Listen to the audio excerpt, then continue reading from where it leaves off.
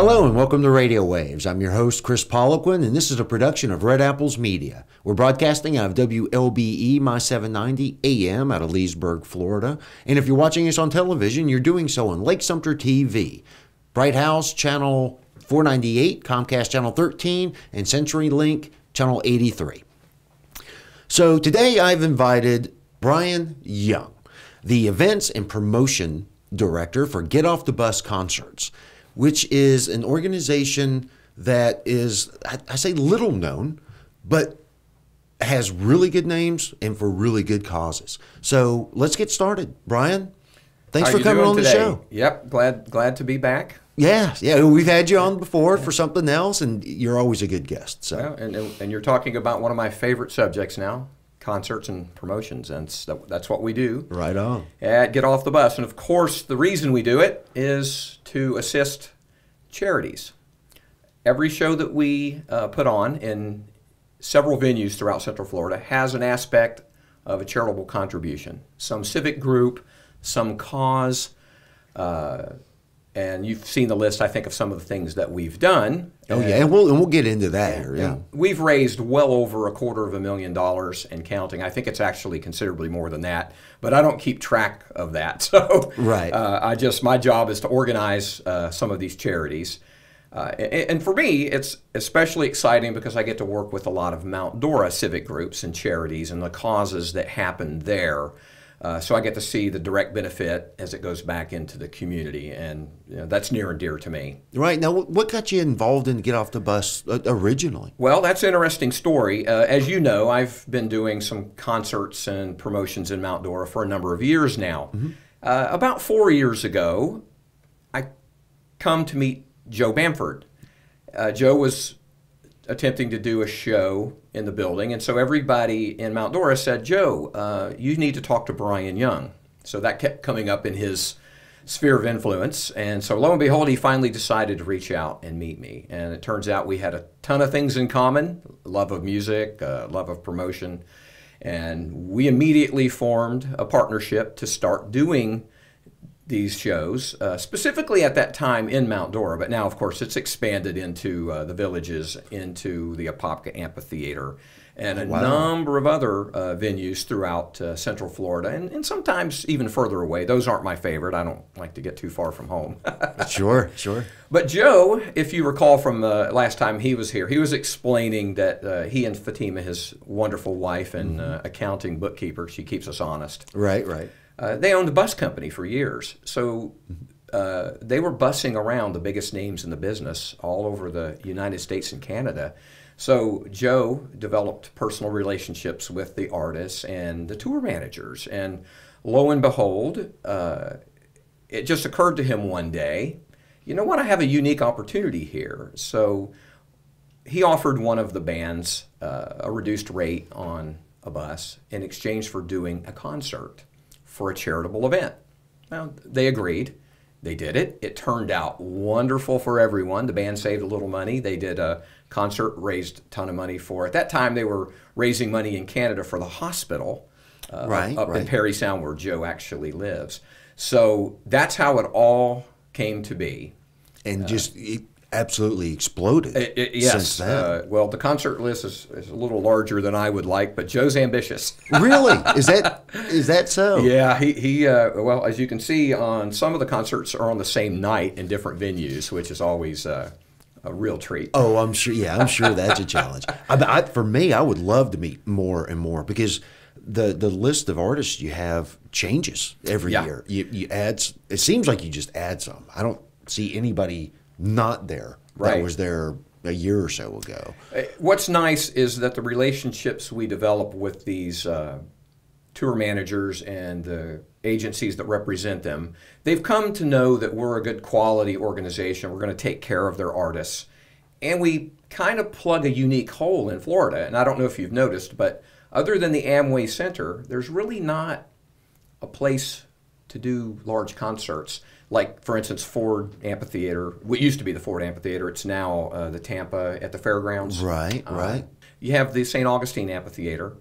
Orlando doesn't have something like that. So uh, they're always calling Joe to say, hey, we have a hole in our schedule. Is there a way we could plug something in here? And it works out great for us because it's a better deal to get them on a routed date than it is to try to fly them in one at a time to, to do a show. Sure. So between the Apopka Amphitheater, the Villages, the Sharon, the Savannah, and Mount Dora, we've got a number of options to put the bands into. So it has really worked out well. The venues are they they vary Yes. greatly. In size and scope, all of it. Uh, Right. I mean, we're we're talking. some are quite large, Mm-hmm. from what I gather, and some are pretty intimate. tiny small ones, like the Mount Dora Community Building. Uh, Joe and I have made that a pet project. And Oh, really? Yeah, for the past three Good. years. Again, everybody who listens knows I'm a Mount Doran. So And the reason that happened is because when we do a, sh- when we once did a show in the Mount Dora Community Building, Wynonna Judd, for example, uh, she came. Uh, the production, meaning the sound, the lights, and all of the stuff that comes with that, you're, you're talking as much as twelve thousand dollars, and all day to load in and set up. So it's pretty pricey to add that onto the ticket price. Now, granted, we sold the show out, but we barely made the sound check time because of the complexity of the setup. So uh, myself and Joe and a number of groups in Mount Dora decided it's time that we put in our own sound system. So I'm proud to say that due to our fundraising efforts and the city of Mount Dora stepped in and voted to approve a, an amount of money to get that done. So we now have a brand new state of the art DAS Aero 20 uh, sound system in Really? that building and it's fabulous. It debuted with Poco, if you're familiar with Poco. Uh-huh. Yeah, they just knocked it out of the park. Crystal clear digital sound. It was really fascinating. oh, that's awesome. Mm-hmm. That's awesome. So that's one of the things we do. That group uh, that we support, and in fact, a number of our concerts in Mount Dora directly benefit the patrons of the community building. It's a group of four fabulous ladies that have gotten together and they have decorated the building. They have made the green room something really respectable. In fact, artists Really? comment constantly when they come through Mount Dora that, oh, your green room is fabulous. Uh, and if you've been in the lobby, it's uh, really well decorated. Uh, and now the sound system. The next thing we're going to do is support the project to raise the funds for the new lighting system. So one thing at a time. Sure. Uh, sure. We're going to get that done. Well, when you're talking about bands, musicians, audio's got to come first. Uh, right? I mean that. Absolutely. So I, I think that was a, a good step in the right direction, or Agreed. the right step, I should say. So that's just, and that's just the, and I've and I have been in the the community building, and like I said, it's not small, but it's not massive. Very intimate, almost. Extremely intimate, great history. It was built in 1927. It was inducted by Calvin Coolidge and his wife, who 27th president of the United States. Oh, didn't know They literally did the ceremony to uh, induct the building. So fabulous history. Uh, 618 seats, 60 feet from the stage in the back row. There's really not a bad seat in the house. Wow. Now you also play in the villages now, Mm-hmm. correct? At the Sharon and at the Savannah Center, both of the venues are in play pretty regularly. Of course, the Sharon is the really high end shows like Willie Nelson. Right, right. Uh, we had Olivia Newton John. Uh, I tried to get Joe to get her on my show. Bad, bad. Just it couldn't happen. a little difficult. Mm-hmm. but that's the level of show we do in the Sharon, and uh, the people there are very supportive. Uh, so we've had great success with that. And many of the charities we support up there are obviously uh, domiciled in the villages. Uh, the different um, Rotary groups or ones like that. We, we do focus a lot on pet related or animal related causes. That's Really? that's, that's near and dear to our hearts and.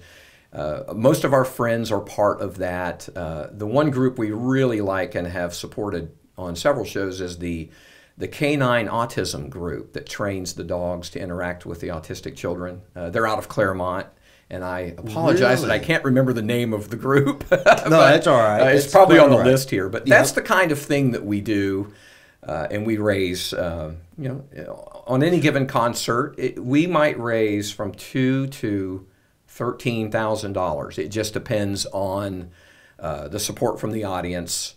Uh, and typically, what we do is we'll get a signed guitar or two, and a photo opportunity with with the artist.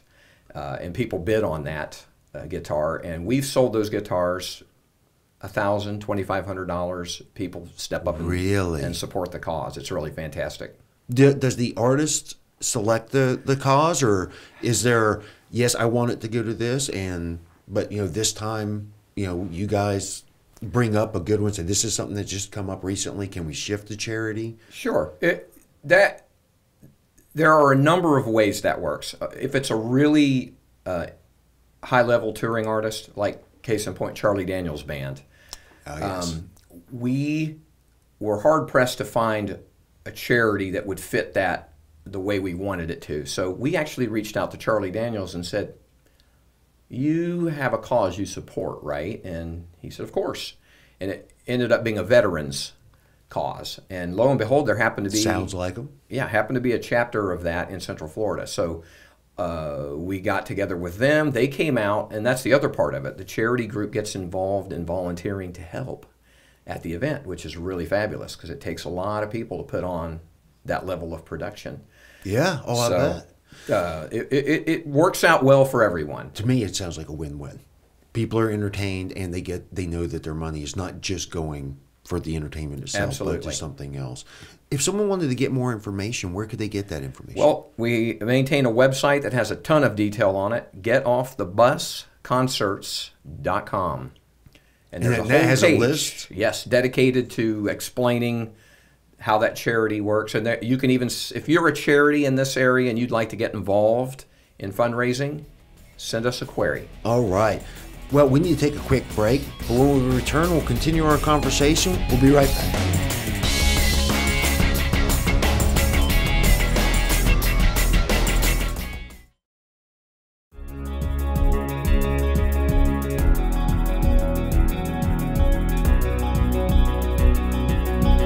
Hi, and welcome back to Radio Waves. Again, I'm your host, Kris Poliquin, and this is a production of Red Apples Media. Today, we're talking with Brian Young from Get Off the Bus, and he's explaining to us the how the organization works with the artist for the specific charities.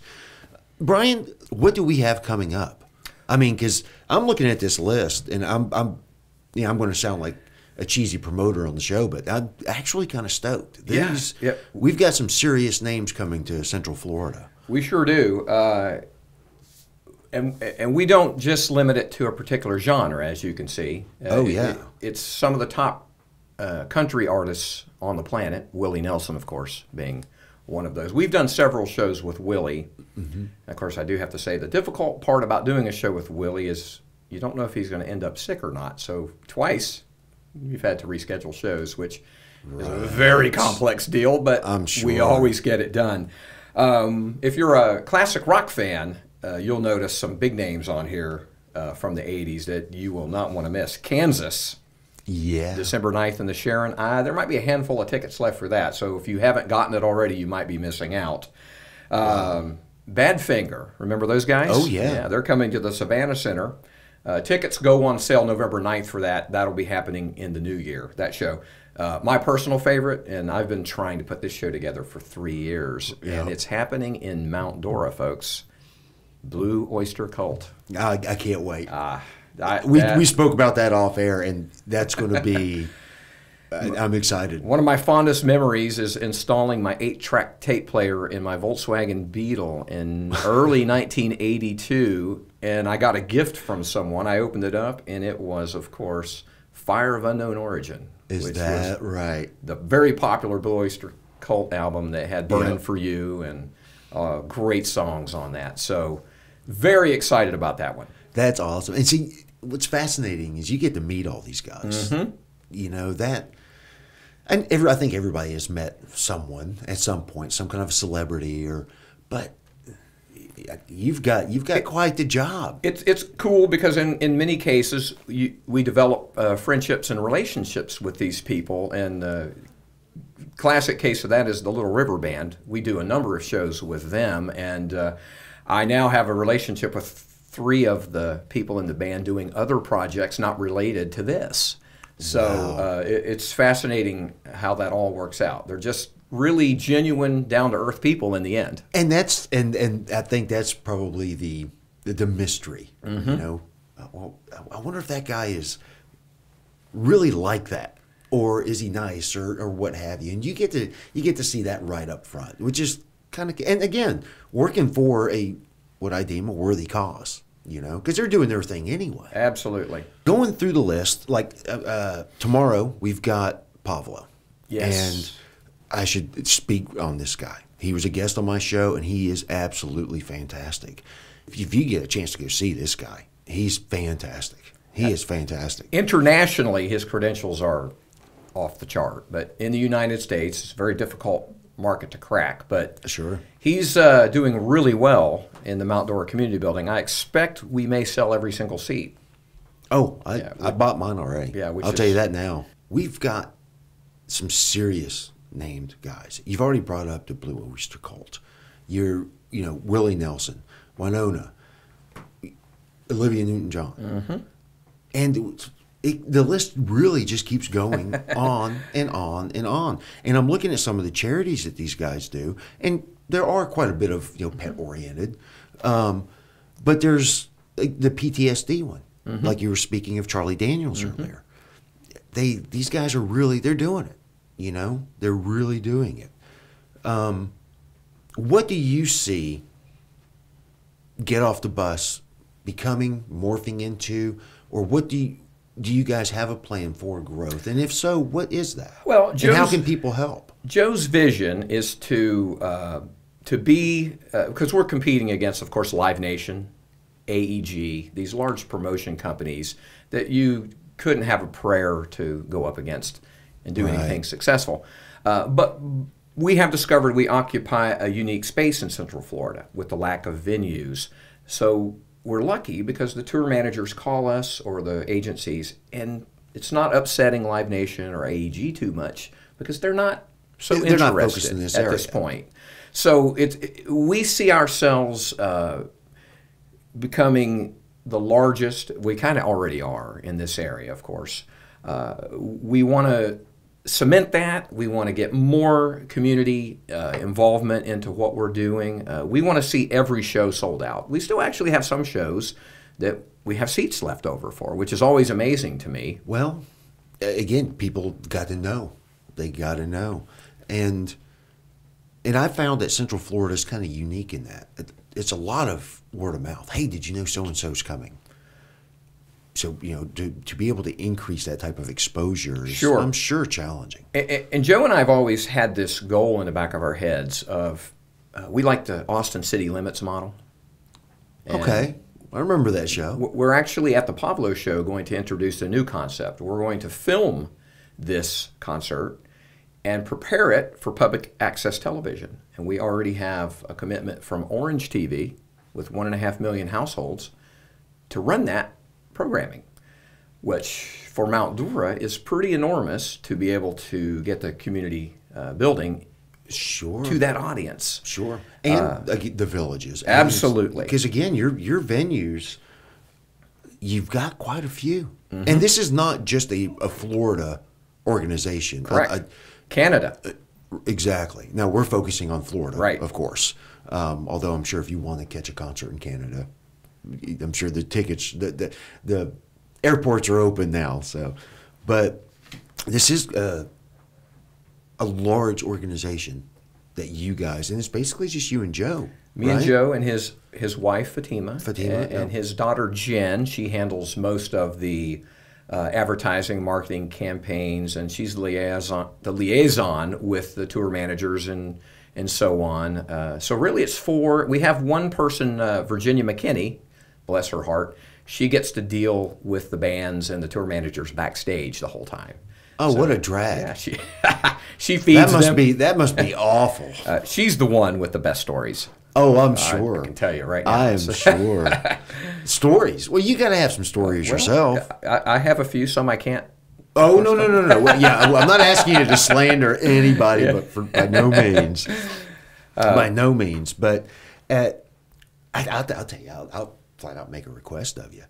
If you ever get the inclination to walk Charlie Daniels or someone around downtown, you know, give me a call first. You know, that's Charlie. Because I'm sure that's kind of scary for him. Well- I, mean, I don't know how often they do that. He- the first time we brought him to Mount Dora, uh, he and his wife started walking around town, and they fell in love with Mount Dora. In fact, two years later, when we brought him to Apopka, he asked about Mount Dora. Really? And he didn't realize he was so close to it. so right? And, and then another artist that we have a good relationship with now that loves Mount Dora is Rick Derringer. Does that name ring a bell? It does. really? Yeah, we brought him in, and he did a great show. Uh, he now comes back from time to time to uh, bring his wife to Mount Dora. They loved it so much. Well, it's it's a hard town not to. it really is. Sure is. You know, and you know my feelings on Mount Dora. Uh, and I expect the villages get because that, that's a large population group. Absolutely. I mean, a- massive amount of people living in basically their own county. Going back to the actual charities, some of these are global. Do you have a preference? Do you try to stay stick with local charities so that, say, the, the denizens of Lake County are going to these specific concerts and it they're getting a return? Yeah, it is our preference to, to do something that the dollars actually flow right back into the community in that sense. Okay. But the reason you'll see a national level is because of a personal contact with someone in the local community who serves that charity or is involved in it on the board of directors, uh, or in the case of Charlie Daniels, a special request to do it. Right, Um, right. So that's that's why you'll see that uh, happening from time to time. if someone wanted to try to get on your list of charities, Sure. are you open to that? Absolutely. We, It's like, hey, we, I think we have a, a good thing here. Do you think you might be able to convince an artist? Sure. And, and a lot of times the artist uh, doesn't even get involved. They're just happy that we're doing something that, that gives back. Okay. Uh, so if, if there is a civic group or a specific charity interested, if they go to getoffthebusconcerts.com, they can send us an email, introduce themselves, and we'll start a dialogue.